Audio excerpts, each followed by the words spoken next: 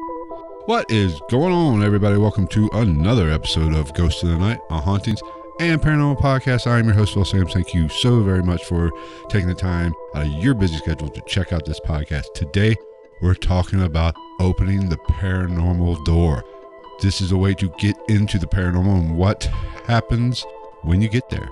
So, stick around.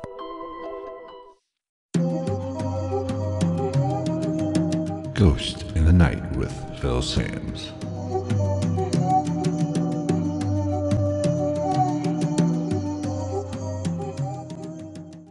Okay, now what I mean by opening the paranormal door really comes about for one reason. And it really what got me thinking about this particular way of thinking, I guess, about the paranormal is a lot of people talk about how they bring things home or things they get attachments to or things get attachments to them. And I'm not saying that that's not true, but one way to open the paranormal door to get into the paranormal world is to just go out and be a part of it. The more you expose yourself to the paranormal, the more likely you are to actually experience the paranormal. And what really, getting back to what really sparked my idea of this podcast episode topic was I recently came across an article regarding a haunted house, and it was Jonathan Davis, who is the frontman of Korn, basically says his house is haunted. And the more I read the article and started thinking about it, you know, he exposes himself to a lot of weird shit. You know, some of their stuff is a little darker. He, not saying that demonic or anything or satanic or anything, but, you know, he exposes himself to darker topics not bubblegum and lollipops.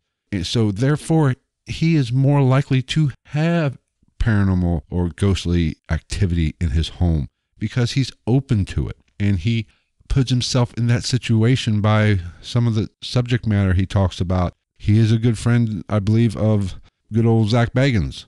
And so when you immerse yourself in weird shit or the paranormal, you are more likely to actually have an encounter or your home is more likely to be a little haunted, more likely to have those paranormal experiences. And I come at it a different way. I've I've stated a million times on this podcast, you know, I've always had a little bit of paranormal activity in just about every location that I have laid my head down and went to sleep in and I have called home, except for where I live right now. I just recently moved and I haven't experienced anything in this location. And I've kind of you know, just for a quick side story, I recently got engaged. I moved in with her and her kids, and I we've been together for years. So I've spent a lot of time in this house before I moved into it and never experienced anything. Now that I've lived here for a couple months, I still haven't experienced anything. And I go out and actually actively look for the paranormal. So I expose myself to that. Now, is that to say that I might not get any kind of paranormal activity in this location? No, I might not, or I might. Who knows? That is the beauty of the paranormal. I don't know. I might have an experience here at some point. But the point of the matter is the more you put yourself out there, the more you dive into the paranormal, you are more likely to open yourself up. And that is the key. When you experiment or you actively search out paranormal activity, you are more likely to open yourself up, which will cause you to see more paranormal activity or experience paranormal activity. If you buy a Jeep, you know, the old Jeep Wrangler, if you buy a Jeep Wrangler, I guarantee you the you'll be driving down the road, you'll pass a million Jeep Wranglers. It seems like everybody has a Jeep Wrangler. But yet when you were driving a Chevy, odds are you didn't see a lot of Jeeps. Now, does that mean there was less Jeeps on the road? There are more Jeeps on the road because you actually bought one? No, that just means you weren't open to it. You weren't actively looking for it. The same thing goes in the paranormal, I believe, is my theory. Now, I could be completely full of shit. I could be completely wrong. You're more than welcome to tell me otherwise. Just send me an email at gitnpodcast at gmail.com or follow me on Twitter at night underscore ghost. That those two different ways you can tell me I'm completely full of shit or I'm an idiot. That's fine. Or you can even say you can agree with me. But think about it. The more you driving that Jeep more, you're going to see more because you're more open to it. You're sitting in a Jeep, you're seeing more Jeeps. It's not that you're seeing more Jeeps, you're just noticing more Jeeps. Same thing with the paranormal. The more you dive into the paranormal, if you paranormal investigate or you start experiencing maybe a little something, you start thinking about it a little bit more. So you might, you're more tuned in, you're more keen to notice that kind of stuff. Notice little random things that other people might not pick up on. A knock, a footstep, something being moved out of place, or hearing a disembodied voice or hearing a conversation that you don't know where it's coming from. You're more likely to see that the more you put yourself in that position or the more you open yourself up, hence opening the paranormal door. So, a lot of things go into demonic and the nasty shit that a lot of people talk about. A lot of people fear evil spirits, the demons. And I'm here to tell you, I've done three or four podcasts in the past about demons, and I'll kind of reiterate my thoughts. I'm not completely sure demons are demons. Demon, I don't like to to use the word demon because that has such a tie to religion. Religion, religion does not have a monopoly on demonic activity. I believe a demon is misinterpreted. It is actually more of an evil type spirit, a sinister type spirit. It's not necessarily a dark angel of Satan. Whatever. Take the religion out of it. Demonic activity is more sinister, more darker energy. That is my philosophy. And if you dive into that a little bit more, you look at black magic, you look at things that have a little bit more negative energy in them or topics of darker stuff, you might experience more demonic type activity or more. There, I even said it. See, I got to break that habit myself. More evil or more sinister, more darker paranormal experience, which can be interpreted as demonic. So you put yourself in that position. Now, how do you go about doing this? How do you do, go about overcoming this? Is just be open. Be open to the idea that there are things in this world you don't understand that you can't explain and just let it go. There's no need to fear. If you hear a knock or footsteps coming up the stairs and all of a sudden you're expecting somebody to walk through the door and nobody walks through the door, don't fear that. Fear should come in if somebody you hear footsteps and somebody comes the store up the stairs and somebody comes in the door you don't know. That's when fear should take in. But if nobody comes in, you go look, nobody's up there. Okay, that could be paranormal, or it could just be the house settling. There's a ton of reasons that could that could have caused that, but you have to keep an open mind and don't be fearful. Because if there is such a thing as dark energy, which I do believe, but if there is evil spirits, they feed on the fear. They feed on your anxiety. They want you to fear them. And if you don't fear them, you take away their power. You maybe not take away, but you limit their power. And that is something to keep in mind. Don't be scared if you hear a disembodied voice or say your car keys get moved. Just chalk it up as okay. I remember one experience that I had uh, last year, two years ago in my old home where I had activity. I was laying down to go to bed. Due to my condition, I need to, I can't sleep on my back because of the back issues that I have. I have to sleep on the side and I like to sleep on my right side most often. I mean, I switch back and forth, not to get too much information, but you know, I switch from right side to left side. But I always start out on my right side. And I just laid down, just hit the lights, was on my right side, facing at the time a wall. So I was looking, basically looking at the wall. I hadn't been down 30 seconds. I was still kind of in that process of going through my day in my mind before I fall asleep and what I have to do tomorrow. And something grabbed my shoulder and pulled me to my back. Now, did I get scared? Did I get fidgety? Did I go into panic mode? Absolutely not. I basically said, come on now. It's bedtime. Let me sleep. You know, I didn't get scared. It didn't I didn't give it that interaction if it was a darker spirit or if it was an evil spirit. I didn't give it that energy that it needed to maybe move forward or do more. If it was just a run of the mill plain spirit, then odds are it wanted my attention. It got my attention because I acknowledged it. Hey, okay, I'm going to go to sleep. You know, let's do this another day or do this tomorrow. It got noticed, which, if that's what it wanted, it, it got it. But if it was an evil spirit or evil entity or darker energy, it didn't get my fear to feed on. Same thing when you go on investigations. You know, scary movies have ruined it for everybody because it's taught us to be scared of those situations. If you go on an investigation, don't be scared because there's nothing really to be scared of. I'm not 100% sure these spirits can really hurt you. I think a lot of it can be diagnosed as mental issues, you know, some of these possessions. Because if you look at a possession and mental issues or mental problems, which is such a big topic in today's society, it's very similar. Some of the same conditions are in both, and it's very hard to distinguish between the two conditions. So it's very, it's a very tricky diagnosis. Not to say that there is not such a thing as demonic possession or evil possession or just possession, but I think a lot of it is misdiagnosed. But to get back to whatever it is, if you put yourself in the situation to experience evil, odds are you're going to experience evil. But you put yourself in the situation to experience good, pleasant, you're going to get the same experience in the spiritual world. That's the same. It's pretty much that way in life. Just the if you surround yourself with good people, you're going to have positive energy. If you surround yourself by jackasses, you're going to have some shitty experiences. I'm not sure the paranormal world is that much different. Whatever you surround yourself with or you spend time thinking about, you are going to have the same interactions, the same experiences in your personal life. And if you, like me, kind of talk about the evil side and the positive side, I could have both. But the bottom line is, I'm not going to freak out on either.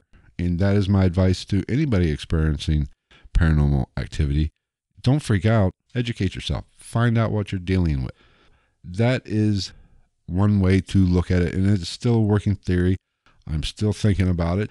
And I'll maybe talk about it more, but let me know what you think at night underscore ghost on Twitter.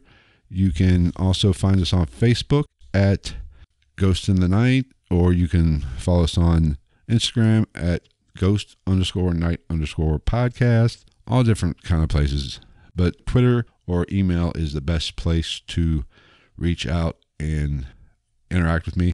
We also have the website, ghostinthenightpodcast.com, which is great for show notes, links, catch up on past episodes. But reach out and let me know what you think about this particular concept. This podcast is airing on Friday. It is the first day of the storm, Area 51. So let's kind of talk about that for a little bit. Okay, well, that time has officially come. The Storm Area 51 movement starts, I believe, today, since this podcast will air on Friday. Now, I've covered this recently in a previous episode where I gave my thoughts. It's a stupid idea. Odds are there's probably nothing there whatsoever. Or once Area 51 broke on the scene, you know, people knew about it really with Bob Lazar, you know, it really came to the forefront. I'm sure the government was smart enough to move it. Move if if they had anything, move whatever they had. I'm not saying they do. I don't know. Maybe they do, maybe they don't. But once it got out and people started asking questions, I'm sure they moved it to a different location if they had something. I really think this whole thing of Storm Area 51 is for nothing. It's just, you know, it, it was started by a guy, a kid, basically as a goof, and it just took off, and people are pretty stupid, and they basically said, "Yeah, that's a good idea." Well, you're an idiot. There's no way that you can actually storm Area 51. For one, the terrain's harsh, and if a bunch of people show up in flip flops, a t shirt, and a cooler full of beer, they're not going to make it. This place is designed to withstand enemy foreign enemies. You think you and your cooler and your Bud Light is going to be able to get there? No. So it's a waste of time. Now, I like the idea that they've come up to make it a, came up with the idea to make it a festival, and that's kind of been a clusterfuck from what I've understood, from what I've read about. The kid started to do it, and he basically told everybody it wasn't happening. Then somebody else had started to plan one in a nearby town, you know, it's going to be a music festival apparently, and there's going to be some UFO speakers there. And I hear they're even going to actually screen Bob Lazar's recent documentary that's on Netflix. But they're going to have some celebrities there, probably some music and porta potties, which is always good in the desert because, you know, I believe last at last I heard or read there was they were expecting around 30,000 people to show up for this festival. You can need a lot of porta potties. You can only take a dump so much in the sand. That's easy to, I guess, bury, I guess. But anyway, that's fine. I hope people that go go just to have a good time, even though these type vessels always turn turn out to be a nightmare. That's why I wouldn't wouldn't go myself. But you know, I hope they have a good time. I hope they talk about the UFO phenomenon and all the revelations that have come up here recently with the Navy actually trying to, or actually speaking out on it and giving an actual opinion, saying, "Hey, we don't know. It is a real phenomenon." Um, some of the new shows, there's been three, four new shows that have taken off or at least been aired. So there is kind of a renaissance time in the UFO history because you know people are really starting to take it. I don't want to say seriously, but they're giving it a little bit more credibility than they have in the past. And I believe I just read that actually uh, some people came over from I don't I think Denmark or Sweden or someplace like that, and act for this event, and they decided to get an early start on it, and they decided to head on over to the gate, take pictures, and cross the line. They, guess what? They got arrested. Now I believe they were sentenced, sentenced and fined. I think they they basically got out already and paid the fine and left. But that is basically what's going to happen. Why risk the chance of being incarcerated when there is nothing freaking there? And even if you could get close enough to it, that shit's tucked away. It's underground. There's no way, I don't care how many people you have, could get through all that security because you can't even get to it unless you are experienced in dealing with the desert type conditions, the rattlesnakes, the scorpions. I mean, it's a joke and but I wish them luck if they want to do try it, but I hope they enjoy the festival. They bring light to the UFO phenomenon because the UFO phenomenon is definitely real. I'm not saying it's ET coming down from outer space, but there is definitely some unidentified flying objects floating around. And we don't know what they are. The Navy apparently doesn't know what they truly are. They could be a vast array of things. So the more people that kind of take it somewhat seriously and do some legitimate research, it's only going to help the situation maybe to come to a little bit closer of a conclusion on what the what people are experiencing. Now I'm not I don't want to get into abduct, alien abductions or anything like that, but there is a UFO phenomenon. They people are seeing something in the skies. Now, a lot of it can be attributed to top secret aircraft that we have. I mean, let's be honest, we don't know what the government has, and it's all they they're always 10, 15 years ahead of us in their technology. So I'm sure um, most of the sightings can be attributed to top secret aircraft, but there is some footage and there have been some experiences that aren't the top secret type of aircraft. Now, but with that being said, you know, a lot has been said about the Navy's releasing the, you know, the gimbal and the tic tac stuff. And I will, and people have stated that, well, they released it, it's not theirs. The government is so compartmentalized, the right hand doesn't know what the left hand's doing. So that's not necessarily true. That footage is very interesting. I've seen them. I don't know what they are. I don't think they're a drone. Is it a test of a back engineered alien aircraft like a lot of people said? I don't know for sure, but it's very interesting. But anyway, we might dive into a little bit more of the alien type stuff because I personally don't know. When you talk about these UFOs and aliens, there is a possibility they're just multidimensional beings, not necessarily from galaxies far, far away. There's a very good chance that these are multi-dimensional beings coming through, or we are at some certain points we are able to see these things that are actually in another dimension. We are going to tackle all that in future episodes. I do want to kind of, I'm reading a book, I know, shocker, that I want to cover. I don't want to do a lot of conspiracy theories stuff on this podcast, but I this one is kind of fascinating and it can if governments do cover up things and hide things and make things difficult to figure out. That could be part of the reason why there isn't a lot of research or the research into the paranormal isn't taken as seriously as it should be because there is, you know, there might be kind of a conspiracy to keep things hidden a little bit and keep us in the dark. So I'm going to cover that in a future podcast as well. Um, quick update before we get out of here for today. Um, I have a lot of listeners on Podcoin. Apparently, Podcoin is going under. So if you listen to me on Podcoin, be sure to check out one of the other hosts so you can continue to enjoy this podcast. We are on just about every place iTunes, Stitcher, Spotify, iHeartRadio, TuneIn. The list goes on. The list is enormous. But if you like this podcast and you listen to it on Podcoin, be sure to subscribe from one of those other apps or other podcast playing devices so you can continue to listen to the podcast and show your support. Don't forget you can go to ghostofthenight.com and you can pick up a podcast t-shirt on multiple pages. It's right there on the homepage. See some t-shirts, click on it and it'll take you to where you need to be to get a podcast t-shirt from me. I would greatly appreciate it. You could also, if you need some paranormal equipment while you're there at the website, there's a link for the Ghost Stop.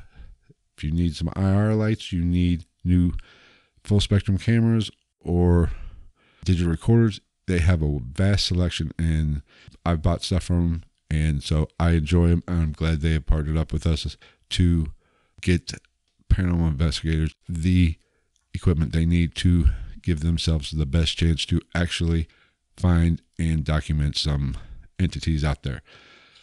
Don't forget, follow me on Twitter at night underscore ghost. If you have uh, experience you want to share, or you have an opinion on the podcast, or you want to let me know what you might want to hear about a topic in the way of topics, reach out to me via Twitter at night underscore ghost or send me an email at gitnpodcast at gmail.com. We also have a Patreon account, and that's patreon.com backslash gitn podcast. If you want to support us that way, just throw us a couple bucks and we give you some bonus content. You get all this content anyway for free, but I do post some Patreon only stuff. I'm putting some stuff together now. I have a couple one thing on there now. I might even do some live stuff, head on over there, check it out. That is a great way to check out videos of each podcast. YouTube, there's always YouTube. If you like YouTube, go ahead and subscribe and hit the bell and, let, and they'll tell you when I upload a new podcast and or a investigation highlight video. So until next week, take care everybody.